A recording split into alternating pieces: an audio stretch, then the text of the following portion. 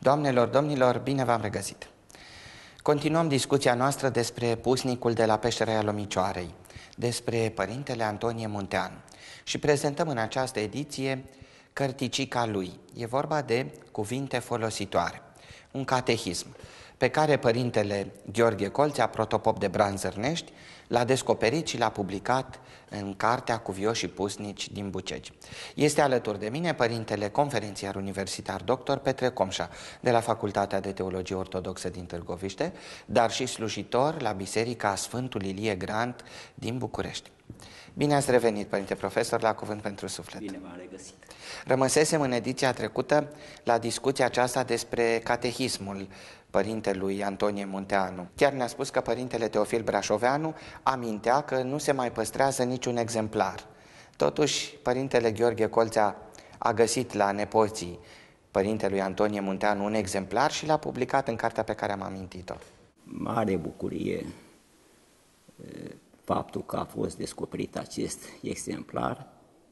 o mărturie grăitoare a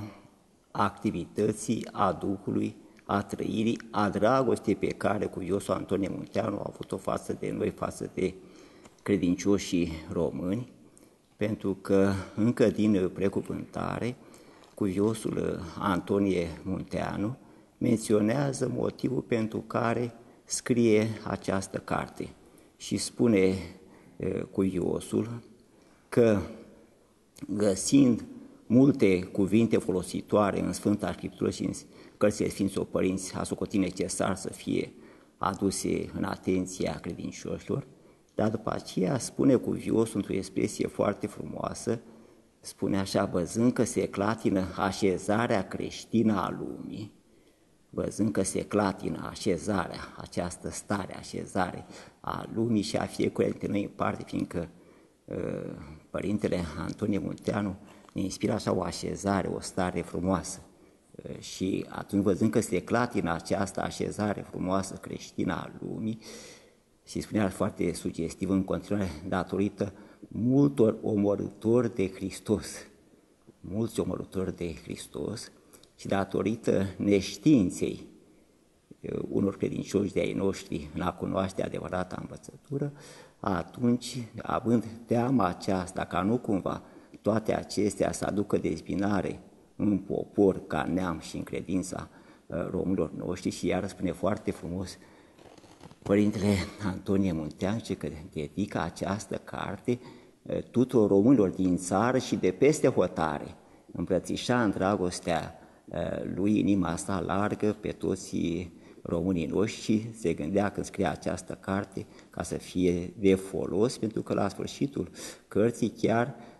spune, cred și se roagă ca să aducă folos duhovnicesc această carte pe care a scris-o. Părinte profesor, vreau să vă întreb când a scris Părintele Antonie Munteanu această carte și sigur scopul ni l-ați arătat deja din precuvântare. Da. Putem spune că era o, o lucrare de absolvire a seminarului? Este varianta și e destul de plauzibilă pe care ne-o spune Părintele Gheorghe Colțea, prin faptul că a fost trimis la seminarul de la Cernica și a absolvit seminarul la Cernica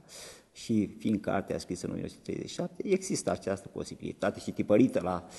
tipografia seminarului Cernica, există această posibilitate ca uh, această cărticică să fie o încoronare, uh, o dovadă a maturității duhovnicești a cuviosului la încheierea uh, acestor cursuri. Important e că este tipărită la tipografia seminarului Cernica 1937, iar legătura strânsă care era nu numai cu Moldova și cu Ardealul, dar și cu partea de sud a țării românești, cu București și cu seminarul Cernic. Acum, tot în precuvântare, cuviosul Antonie Munteanu ne spune că a dat toată osteneala, n-a costat niciun efort pentru a duce la bun sfârșit această carte, dar ne menționează el că nu a căutat cuvinte mesteșugite, deci costeneala lui nu a fost în a căuta cuvinte meșteșugite și atunci ne putem pune întrebarea în ce a constat această osteneală în care nu a cruzat niciun efort pentru a duce la odată ce nu a căutat aceste cuvinte mestejucite și găsim uh, răspunsul uh, la afirmația pe care o face Sfântul Apostol Pavel în uh, Epistola Antică către Corinteni, în capitolul 2, versetele 3-5, în care spune Sfântul Apostol Pavel Corintenilor, am venit la voi într-o slăbiciune, cu frică și cu cutremur mare. Într-o slăbiciune, cu frică și cu cutremur mare, cuvântul și profătuirea mea nu au constat în cuvinte de înduplecare a înțelepciunii omenești, ci în adeverirea Duhului Sfânt și a puterii. Și ca să nu stea credința voastră în înțelepciunea lumii acestea, ci să stea credința voastră în puterea lui Dumnezeu. Sunt cuvinte de o profunzime deosebită și cuviosul nostru, într-adevăr, așa cum spune Sfântul Apostol Pavel, nu s-a ostenit să ne înduplece pe noi spre credință prin înțelepciunea acestei lumi, ci a căutat să aducă adeverirea Duhului Sfânt, să aducă puterea aceasta lui Dumnezeu și pe aceasta să ne temem credința, un deziderat și o dorință foarte adâncă, și într-adevăr... De altfel, tot catehismul este plin de învățăturile Sfintei Scripturi. Într-adevăr, tot catehismul merge practic 90, mai mult de 90% din citat în citat, fie din Sfânta Scriptură și din Sfinții Părinți, dar uh, preponderent din uh, Sfânta Scriptură. Deci scrie inspirate de Duhul Sfânt. Și, dar într-adevăr, deci accentul acesta pus la cuvios și în lume duhovnicesc, pentru a întemeia credința noastră pe înțelepciunea aceasta, pe adeverirea aceasta, pe puterea lui Dumnezeu și nu pe înțelepciunea, pe cuvintele mesteșugite, cum spune cuviosul. Aș vrea, părinte profesor, să prezentăm uh, succint cuprinsul acestei cărți. Cartea aceasta, uh, ținând cont că începe vorbește despre biserică, despre preoți, despre călugări și mănăstiri, uh, despre pomenirea celor adormiți, despre icoane, despre cinstirea duminicii, despre colivă, despre pomenirea la un an. De, de, toate acestea arată undeva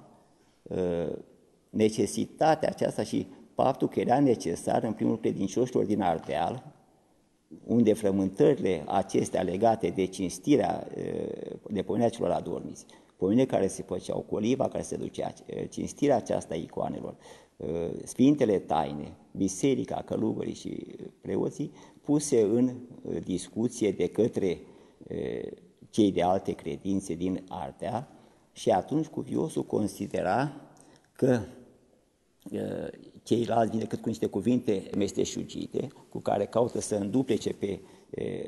credincioși, pe când datoria noastră să venim cu, cu această adeverire a Duhului Sfânt, și, cum spuneam, citează în mod insistent pe Sfântul Apostol Pavel, încât, plecând de la capitolul 1 către Corinteni, de la versetul 18, în care Sfântul Apostol Pavel ne spune că cuvântul crucii pentru cei pieritori, pentru cei muritori este nebunie, iar pentru cei care ne mântuim este puterea lui Dumnezeu. Și spune mai departe, pierde voi înțelepciunea înțelepților, voi lepăda știința celor știutori, unde este înțeleptul? Unde este cărturarul? Unde este cercetătorul, căutătorul, cum zice cu Iosu Antonie în traducere mai vechi, la acestui fac, care n-a arătat Dumnezeu nebună înțelepciunea lumii acesteia și spune mai departe că dacă într-o înțelepciune, prin înțelepciune, oamenii au cunoscut pe Dumnezeu, atunci nu a, a căutat Dumnezeu prin nebunia profătuirii să ne mântuim noi cei credincioși, iar cuviosul Antonie, dintr-o traducere mai veche, spune, nu prin nebunia, prin nebunii profătuirii, să ne mântuim noi cei credincioși. Și atunci adaugă până la versetele 27-28, citează integral uh, cuviosul Antonie pe Sfântul Apostol Pavel în sensul acesta, arătării că uh, căuta să-și întemeieze credința pe puterea lui Dumnezeu, să aducă Harul lui Dumnezeu în de credincioși ca să întărească temenic această credință și spune și atunci a ales Dumnezeu pe cele slabe ca să rușineze pe cele tari. A ales Dumnezeu pe cele nebune ca să rușineze pe cele înțelepte. A ales Dumnezeu pe cele care nu sunt ca să strice pe cele care sunt. Și deci această plus mai departe mai citează și din Galateni, în care spune, episodul către Galateni, în care spune Sfântul Apostol Pavel să fie, mi-a aplaudat decât în crucea lui Hristos, prin care lumea s-a răstignit și eu m-a răstignit lumii. Sau după aceea iarăși la Filipeni, că sunt mulți acum și de multe ori v-am spus, acum aici vă spun plângând, că sunt vrăjmași ai crucii lui Hristos. Aceste versete pe care, le, repet, le folosește cuviosul Antonie pentru a ne apropia de miezul acesta al așezării credinței noastre pe Harul Duhului Sfânt, sunt versete puțin mai grele de înțeles. Și de aceea recomandăm credincioșilor noștri să cumple sau cei care au să citească comentariile făcute de Sfântul Ioan Gură de Aur și de Sfântul Teofilact al Bulgariei, în primul rând la Epistola Antică către Corinteni, capitolul 1, capitolul 2, din care e, cuviosul Antonie îl citează pe Sfântul Apostol Pavel. Noi pentru a face puțin mai intuitiv ceea ce am spus, ne vom referi decât la e, tâlcuirea pe care o face e, Sfântul Teofilact al Bulgariei, la versetele 22-23 din capitolul al doilea în Epistola Antică de Corinteni a Sfântului Apostol Pavel, în care Sfântul Apostol Pavel spune așa, iudeii cer semne, elinii cer vor înțelepciune, iar noi propovădim pe Hristos cel răstignit. Și atunci, cum ne tâlcuiește Sfântul Teofila ca să ne fie puțin mai pe înțeles mesajul pe care vrea să-l transmită Uh,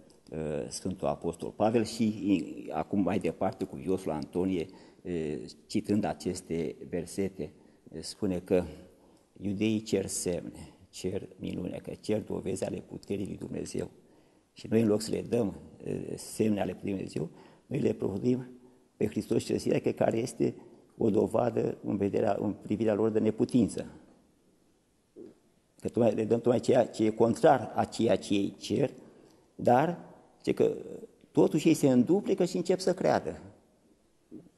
Deci tu mai dând cele contrare, tu se înduplică, dar asta ce se dovadă că lucrează ce? Puterea lui Dumnezeu în inimile lor. Și, și în cazul elinilor, tot așa, spune că vor înțelepciune, înțelepciunea cuvânt retorică, cum erau uh, elinii, și cer a, această înțelepciune într-un cuvânt, zice, și noi tot așa, le spunem și lor, tot despre uh, Uh, Hristos cel răstignit, care pentru ei e nebunie. Adică să le spui că Dumnezeu s-a făcut om, s-a întrupat, s-a, răstignit, a fost, s-a răstignit, a, fost, a înviat și este nebunie și zice că totuși spunârile aceste lucruri sunt contrare a ceea ce ei cer și încep să, încep să creadă și atunci zice Sfântul Teofil, o minune mare, puterea lui Dumnezeu care prin cele contrare, prin cele potrivnice, deci ei, ei cer altceva ei toți încerc să se întâmple și arătând ce puterea lui Dumnezeu care lucrează în uh, sufletele. Și atunci, cuviosul nostru, Antonie uh, Munteanu, a înțeles că nu trebuie să se așeze pe aceste cuvinte mesteșugite și a înțeles că trebuie să se așeze pe puterea Dumnezeu care lucrează chiar contrar uh, dacă cineva cere altceva și e predispus pe altceva, dacă lucrează puterea Dumnezeu, atunci e, e șansa să-i înduplece cu adevărat, nu să se așeze neclintit pe piatra aceasta a ă, credinței și ă, de aceea alege Bunul Dumnezeu pe cele, cum spuneam, pe cele slabe ca să rușineze pe cele tari, pe cele nebune ca să rușineze pe cele înțelepte. Părinte profesor, să mergem către cuvântul despre Sfintele Icoane. Sigur, ați amintit de toate aceste cuvinte, să le spunem, sau capitole ale catehismului Da, capitolul acesta este cel mai, parcă cel mai sugestiv, așa, adică din toate, pentru că... Dar uh, mi-a plăcut exact ce spuneați dumneavoastră, că Dumnezeu uh, lucrează prin cele slabe, uh, prin cele slabe ale sale și aici imaginea aceasta cu Maica Domnului din icoană, care ne vorbește prin chipul ei umil din icoană, spune Părintele. Da, vedeți că atunci cuviosul Antonie Munteanu Ileșa a, a înțeles că el cel simplu din Carpații, cel slab, care nu era specialist în cuvinte mistice și mai departe, la alege pe el Dumnezeu, tocmai ca să lucreze prin el puterea Harului Dumnezeu și înțelege că Dumnezeu îl alege și pe el și pe cele slabe ale lui Dumnezeu, ca să-și arate Dumnezeu numai cele slabe puterea, ca să ne punem nădejdea în noi și să ne punem nădejdea în puterea lui Dumnezeu, în lucrarea lui Dumnezeu, în lucrarea, lui Dumnezeu, în lucrarea Duhului Sfânt. Și atunci, la partea aceasta, ne dă ca exemplu, cum a spus foarte frumos, că pe 21 ianuarie în Sinaxar, când se vorbește despre Sfântul Neofic, căruia vorbește Măicuța Domnului din icoană, adică vine Măicuța Domnului în chipul ei umil din uh, icoană, coboară Măicuța la cele slabe și vorbește ea, deci o, o minune, adică puterea și înțelepciunea lui Dumnezeu, adică deci cum și arată puterea tocmai în cele slabe și după aceea ne spune, cuviosul Antonie Munteanu ne spune foarte frumos la partea aceasta, și cum alege Dumnezeu să-și arate puterea, atunci în cele slabe, în cele mărunte. Și noi este, trebuie să fim foarte atenți la aceste lucruri care sunt mărunte, slabe, care, care Dumnezeu, dacă noi le face cu simțirea cea bună a Sfântului Dumnezeu, lucrează prin ele. Și că dacă intrăm în Sfânta Biserică și dacă ne închinăm la Sfintele Icoane și dacă facem semnul Sfintei Cruci așa cum trebuie, împreună în cele trei degete, spune cuviosul, și le punem la frunte, după aceea la piept, la umărul drept, la umărul stâng,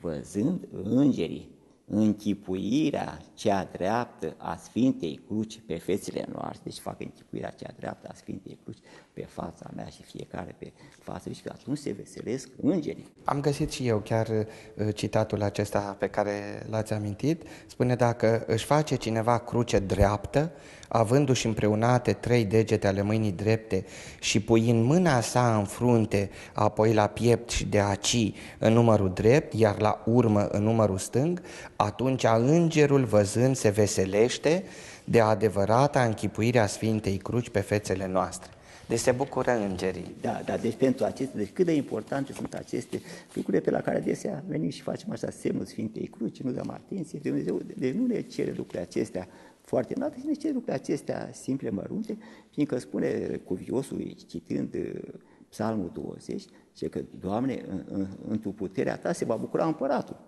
Că și împăratul se caute tot puterea. Veselive pe dânsul în tu bucurie cu fața ta că împăratul într Domnul răzuiește și într mila celui prea înalt nu se va clăti. Deci tot așa, inclusiv împăratul să caute puterea lui Dumnezeu și puterea lui Dumnezeu o obține dacă el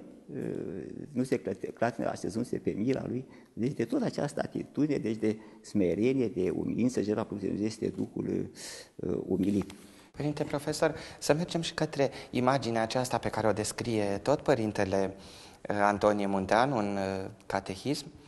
în cuvinte folositoare. Uh, el spune acolo că atunci când facem colivă sfinților și sigur că s-a împământenit să facem lucrul acesta în, în cinstea unui sfânt la care avem evlavie, facem o colivă și o aducem la biserică și spune că atunci Sfântul vede și se roagă lui Dumnezeu cu mare veselie. Atunci când facem o colivă unui sfânt, Sfântul primește cu atât de mare, că spune, exact cum spune, ne spune cuviosul, că se veselește Sfântul și atunci spune foarte frumos, accentuează cuviosul nostru, Antonie Munteanu, zice că devine un rugător vesel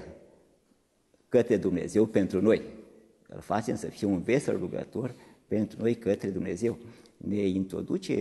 cuviosul Antonie Munteanu într-un catehism, în cartea ta, într-o lume de poveste, are un iz de poveste. Dacă cum spuneam în emisiunea trecută, nepoții săi erau într totul fascinați de chipul de poveste al unchiului lor Anton,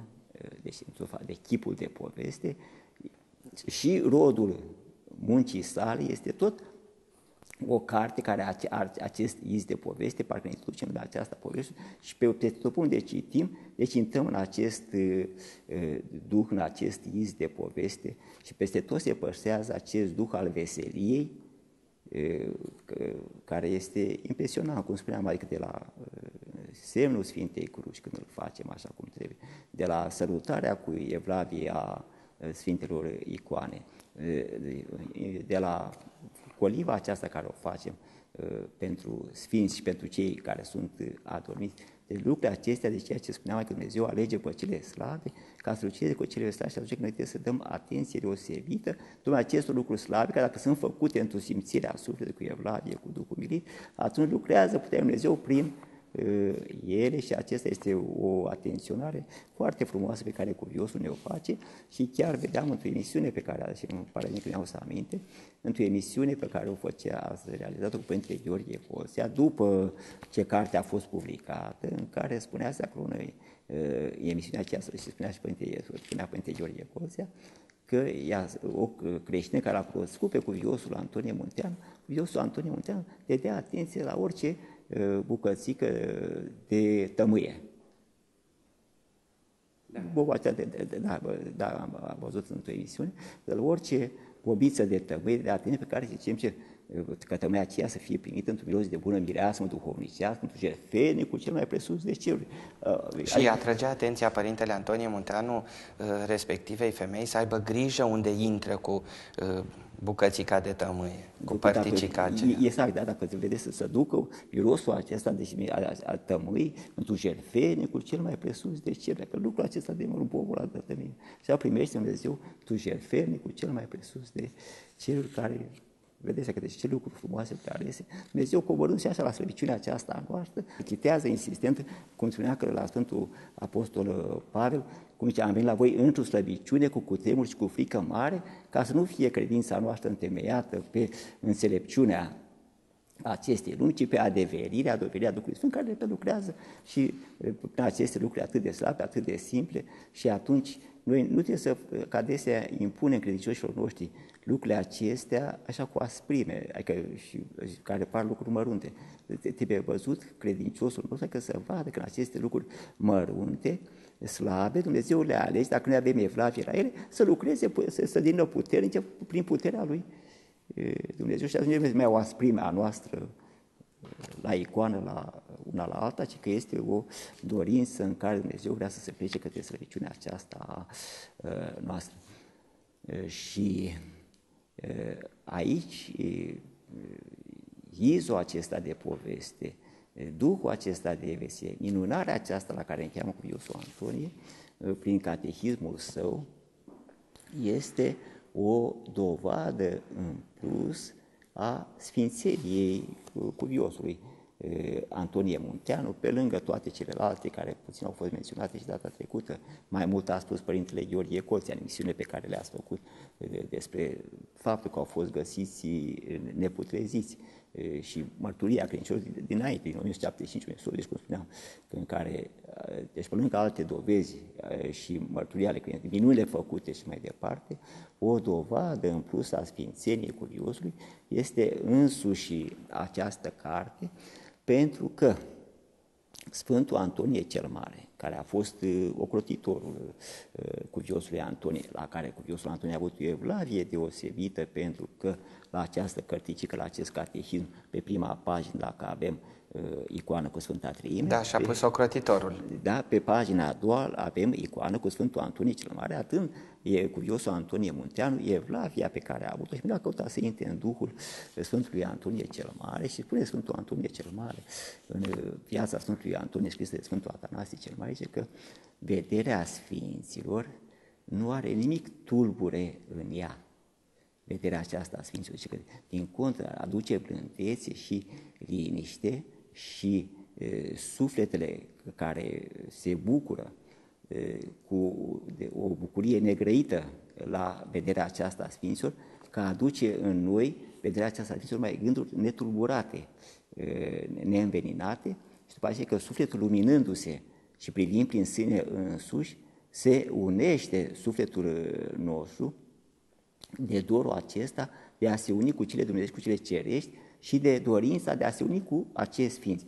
Și dacă catehismul cuviosului Antonie Munteanu ne duce tocmai în ceea ce spune Sfântul Antonie cel Mare, la această stare de liniște, la această stare de plândețe, la această stare de veselie. Ne înalță dorul nostru spre a ne uni cu cele dumnezești, cu cele cerești, de a ne uni cu Sfinții, atunci aceasta înseamnă că este, și dacă spune Sfântul Antonie că aceasta este vederea Sfinților, înseamnă că noi, realizând cu Fiosul Antonie această carte care are efecte pe care le spune vederea Sfinților, înseamnă că avem în față un Sfânt, odată ce rodul lui corespunde, după Sfântul Antonie cel Mare, rodul pe care îl dă vederea Sfinților. Și... Părinte profesor, ați zis în ediția trecută că bine ar fi dacă s-ar tipări uh, acest catehism singur, sigur, el face acum parte din uh, această carte pe care a publicat-o Părintele Gheorghe Colțea, Protopopul de Branzărnești și, repet, intitulată uh, Cuvioși și pusnici din Bucegi, o epopee a Sfinților, însă uh, ați spus dumneavoastră că bine ar fi ca el, ca acest catehism să fie tipărit separat. Da, e, e un dor care cred că este întemeiat acest lucru. Mulțumim. Iarăși încă o dată Părintelui Gheorghe Coltea pentru faptul că a adăugat la sfârșitul cărții și acest catehism și arată valoarea deosebită Părinte Gheorghe Colțea acestei cărți a cuviosului Antonie Munteanu, dar cred că un lucru foarte folositor ar fi dacă s-ar tipări și separat, ar fi mult mai la îndemâna credincioșilor și dacă se ruga cu viosul Antonie ca această catehism, această carte a sa să aducă rod duhovnicesc în vremea în care trăia și atunci să clătina așezarea creștină datorită multor multor de Hristos și datorită neștiinței, necunoașterii credinței creștine, cu atât mai mult cred că ar fi de folos în vremea noastră și ar aduce rod absolut necesar în vremea noastră, când se, s-a clătinat mult mai mult de atunci și până acum așezarea creștină a lumii, omorâtorii de Hristos, din păcate, cu durere spune că s-au înmulțit și, mai mult decât atât, eu însumi, datorită Duhului acesta în care totul se așează pe demonstrație, pe uh, cuvintele acestea mesteșugite, pe silogisme, pe, fiindcă în acest Duh am fost uh, educați prin raționalismul acesta, atunci uh, eu însumi am tendința de a-mi întemeia credința pe cuvinte mesteșugite și nu pe puterea uh, Duhului Sfânt și atunci cuviosul Antonie ne cheamă să, uh, la apelul acesta de a-mi întemeia credința pe puterea Duhului Sfânt, nu pe cuvinte mesteșugite, și aici se leagă din nou cu Sfântul Antonie cel Mare, Sfântul Antonie cel Mare, spunând, învățați-ne cer să întemeiem credința pe demonstrații. Nu, nu întemeiem credința pe demonstrații și mai departe, întemeiem credința pe simțirea cea bună a sufletului, în această simțire bună a sufletului simțim puterea și lucrarea Duhului Sfânt și primim credința. De aceea ne rugăm Dumnezeu ca să găsească o variantă ca să fie tipărit acest catehism la separat, ca să fie mai la îndemâna credincios, să se bucure de el, de izul acesta de poveste care este în cartea curiosului. Vă mulțumim foarte mult, Părinte Profesor, că ați venit la Cuvânt pentru Suflet, că ne-ați vorbit despre cuvinte folositoare, cartea Părintelui Antonie Munteanu, pusnicul de la schitul Peșterea Lomicioarei. Vă mai așteptăm cu drag la Cuvânt pentru Suflet. Cu toată dragostea și iertare cuviosului pentru puținătatea în care am putut să le dau frumusețea și cred că fiecare credincios, dacă va răsfoi și se va pleca cu dragoste asupra acestei credințe, va găsi mult mai mult decât ceea ce am reușit eu să spun aici. Vă mulțumesc. Și eu vă mulțumesc încă o dată. Dragi telespectatori și dumneavoastră, vă mulțumesc pentru atenție. Nu uitați întâlnirea noastră la Trinitas TV, la Cuvânt pentru Suflet. Pe curând! Thank you.